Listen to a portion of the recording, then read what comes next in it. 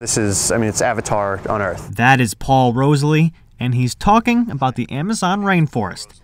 For close to a decade, this New York native has led people around the world on expeditions through the Peruvian Amazon basin. There's more birds, more butterflies, um, more amphibians, more mammals. It's completely, it's the greatest diversity of life that has ever existed in the entire fossil record. On Wednesday, Rosolie spoke at REI in Norwalk in hopes of gathering some new recruits. He says to work with him, you need to be serious about research, conservation, and adventure. We're not looking for people that want to go on a rainforest walk on their cruise in Jamaica. Where this is, you're going deep into the Amazon with no electricity.